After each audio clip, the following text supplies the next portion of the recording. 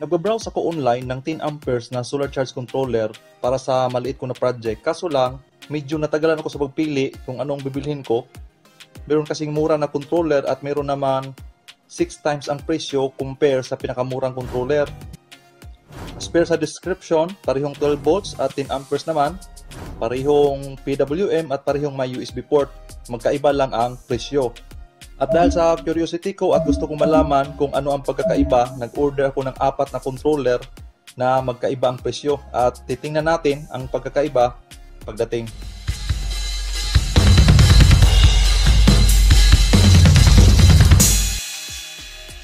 What's up mga friends? At welcome back sa aking channel. At ito na yung pinakahihintay ko ang apat na solar charge controller. After 2 weeks na paghihintay excited na akong buksan kaya samahan nyo ko at i-unbox natin isa-isa pagkatapos babaklasin natin at titingnan natin kung ano ang laman sa loob ng 300 pesos na solar charge controller na ito versus sa tig 800 pesos at versus sa tig 1,500 pesos. Kaya, let's go! Sa mga bago sa aking channel, just call me Rodback at please support my channel by subscribing. At huwag niyong kalimutan, pindutin ang malit ng kampanilya para ma-notify kayo sa aking mga sunod na mga videos. So ito na yung apat na solar charge controller na in-order ko online. Hinintay ko talaga na dumating yung apat para buksan at i-unbox ko ng sabay-sabay para makita natin ang diferensya simula sa packaging. Lagyan lang natin ng label para reference ng actual na nabayaran ko kasama ang shipping fee. Itong una, ang pinakamura, 312 pesos lang ito. Ito naman ang pinakamatagal dumating, bali inabot ng 15 days. Itong pangalawa is 329 pesos, ito naman ang pinakamabilis, dumating 7 days lang. Store kasi nito sa Pilipinas lang, yung iba puro galing China. Ito namang pangatlo, 819 pesos na bayaran ko, at ang pinakamahal sa lahat ay ang 1,449 pesos. Pero ngayon, nung binalikan ko yung online store nito, 1,500 na ito. Hindi pa kasama yung shipping fee. Itong 312 pesos na pinakamura sa lahat, sa packaging pa lang, halata mo na na walang box yung item. Naka-bubble wrap lang at ang gaan niya. Itong 329 pesos naman ang pinakamabilis dumating sa lahat. Ito may box na. Itong 819 pesos at ang 1,449 pesos, ang ganda ng pagkabalot at may kabigatan kumpara sa dalawang TIG T300 pesos. Pero pinakamabigat sa lahat itong TIG 1,449 pesos. So itatabi muna natin yung tatlo at bubuksan natin si 312. Tawagin na lang natin ito sa presyo nila. So makikita nyo, nakabubble wrap lang at ang gaan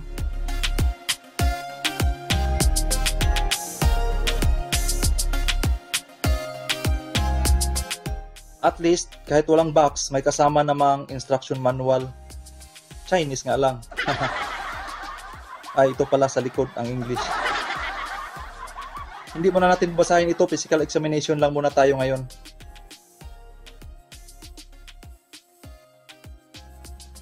Ang controller, napakagaan at wala kang makikitang screws. Naka-clip-on lang siya. Ayan, makikita mo, nakabuka pa yung isang side. Wala ring labels, yung connection terminals parang ang liit ng butas. Ang buttons, okay naman pindutin. Tingnan naman natin ito si 329. Ito at least may box na at naka-bubble wrap.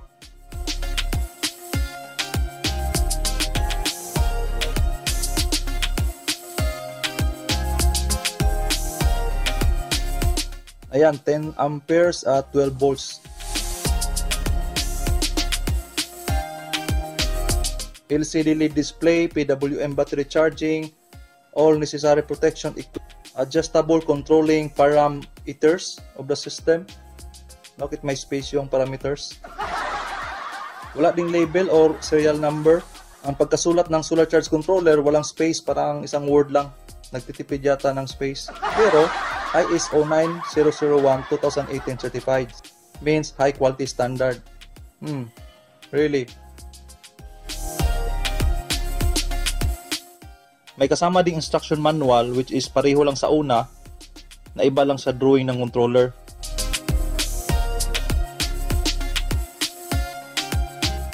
Sa appearance, halos pareho lang din siya sa nauna. Medyo malaki lang yung butas ng terminals.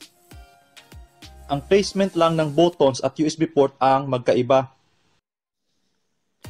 Ito meron ng labels, rated voltage, rated currents, maximum PV voltage, maximum PV input power, pero walang naka-indicate na model sa labels. Sa likod, metal na yung cover niya at may screw na. Di tulad ng TIG 312 na walang screws at plastic lang ang likod. Ito naman si 819, ang ganda ng pagkabalot.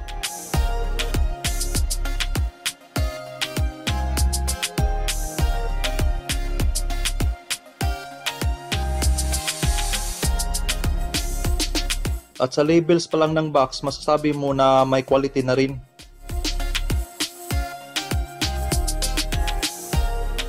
Ito naman, isa lang yung USB port nito. Naka-indicate na rin ang major functions niya. LCD display, PWM 3-stage charging, light sensor, and timer programmable, type of battery, charging and discharge display at overall protection. May sticker label din at naka-indicate yung model, rated voltage at current. Kaso lang 20 amperes model ito. Ang in-order ko ay ang 10 amperes model pero 20 amperes yung pinadala nila. Mas mahal ito ng 200 plus pagkaalam ko.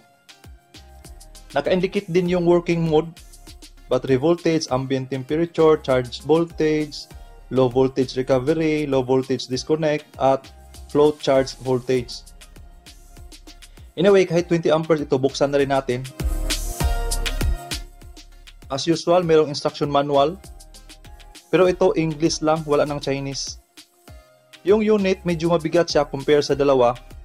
Aside sa label sticker sa box, meron din sa mismong unit. Pareho lang sa nakadikit sa box. Sa likod, metal din yung cover at nakascrew. Mapansin mo medyo malalaki ang terminals at mukhang heavy duty kumpara sa nauna. Siguro dahil 20 amperes na ito. Nasa ibaba din yung USB niya katabi ng terminals. Yung button okay naman, yung screen hindi align sa casing. Kaya pag titigan mo, tabingi ng kunti. At meron din siyang temperature sensor. Ito na yung pinakamahal sa lahat, si 1,449. Pero ngayon, 1,599 na ito kasama ang shipping. Pareho lang sila ng pagkabalot ng TIG 819. Isang tindahan lang kasi ito. 12 volts or 24 volts 10 amperes PWM at dalawa yung USB port.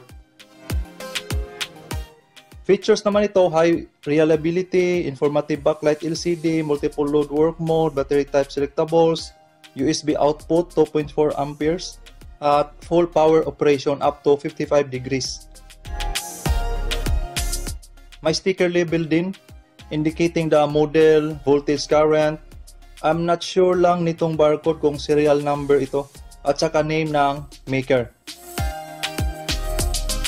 At sa other side, nakasulat na rin ang protections like reverse polarity, over voltage, over discharge, short circuit protection, load protection, at overheating.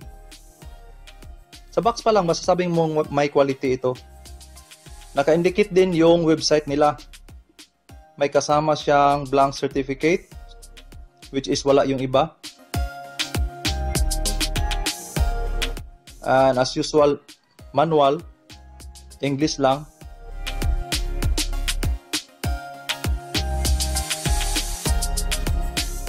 Sa physical appearance, makita mo na ang quality ng gawa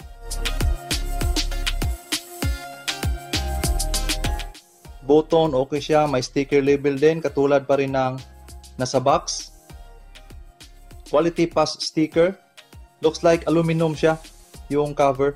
At aside sa connection terminals, meron din additional port para sa temperature sensor. Itong apat na malit na butas, hindi naka-indicate sa manual kung ano ito. Naka-screw din ang back cover, same sa tatlong unit. Titimbangin natin para may idea kayo gaano kabigat ang bawat isa. Si 312 na pinakagaan sa lahat ay 80.6 grams lang. Si Si 329 ay 126.3 grams. Si 819 ay 198.4 grams. At si 1449 ay 229.3 grams. Bubuksan natin una si 312. Dahil walang screw, sisikwatin natin. Sana hindi mabasag yung plastic.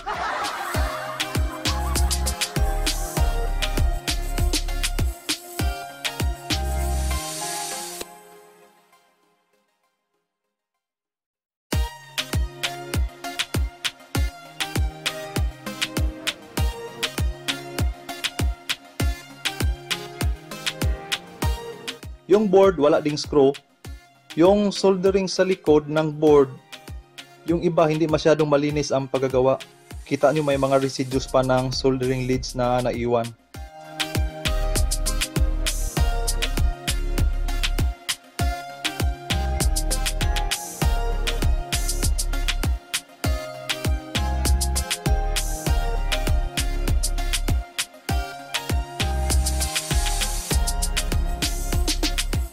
Sa harap, okay naman yung pagkakasulda. Parang normal lang siya sa isang circuit board.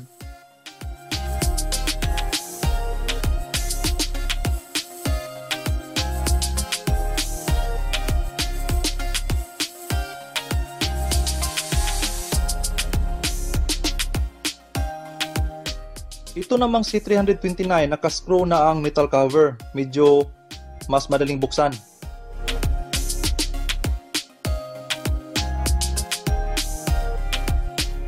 Yung board niya nakasecure na rin ng screw. Yung tatlong MOSFET nasa likod na ng board.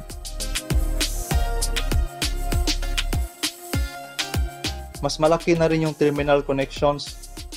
Pariho lang siya sa una, yung placement lang ng mga parts ang nagkaiba. Parang upgraded version lang siya sa una.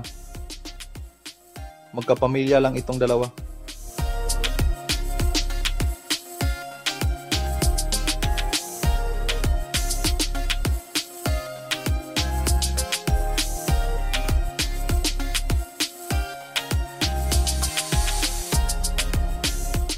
Itong si 819 pesos, meron na itong brand GC Soar.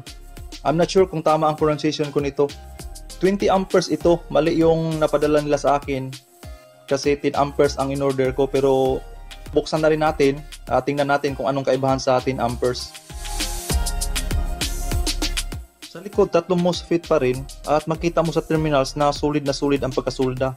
Walang screw ang board, nakaklip lang siya sa casing.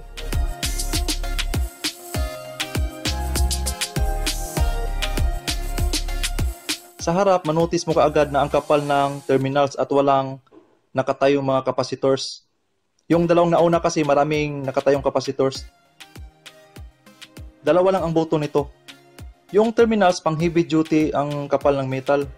Isa lang yung USB port na nakakabit, yung isa bakante. Baka para ito sa ibang model. Malinis ang pagkasulda. Tingnan nyo ang kapal ng terminal at solid yung sulda. Yung LCD hindi direct nakasolda, meron pa siyang parang socket compare sa isa na nakasolda diretso sa board.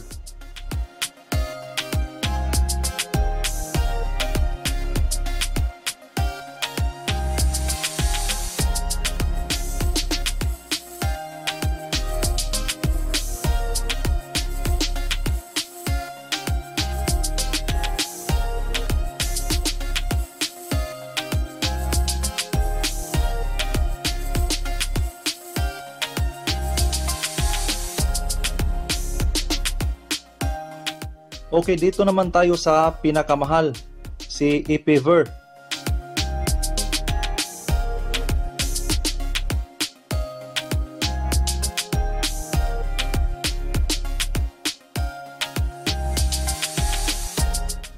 First, ang kapal ng metal cover.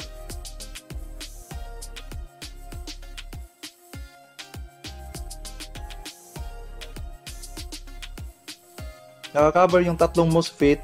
May nakadikit na naman na QC Pass sticker. Maliban sa casing, meron din sa board. Dalawa yung board niya. Itong sa labas, walang screw. pero medyo secured kasi matigas tanggalin.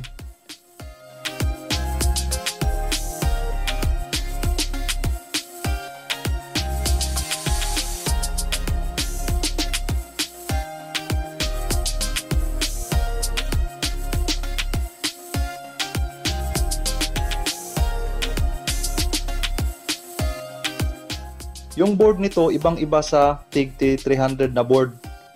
Hybrid na hybrid tingnan. Walang nakatayong mga capacitors compare dito sa mumurahing controller.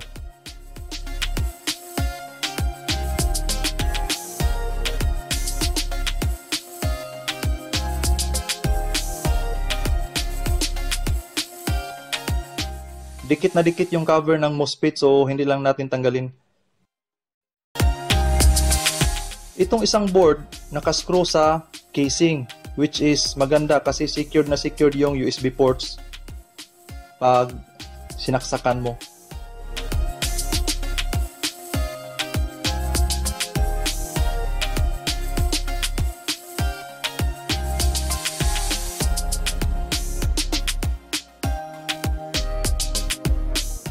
Yung screen nito mas malaki compare sa tatlo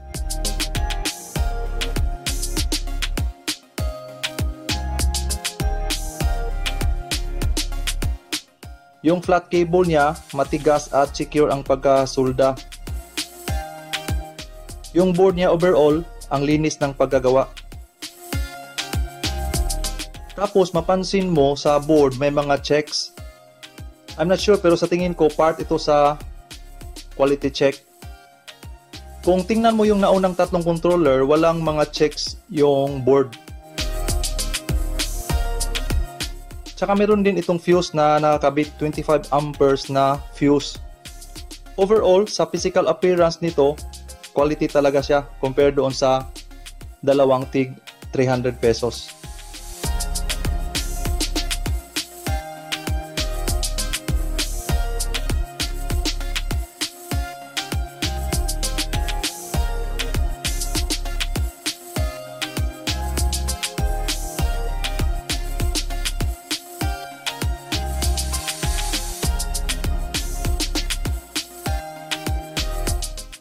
Ayun mga friends, kita na natin ang laman sa loob at kaibahan ng mumurahin at mahal na solar charge controller.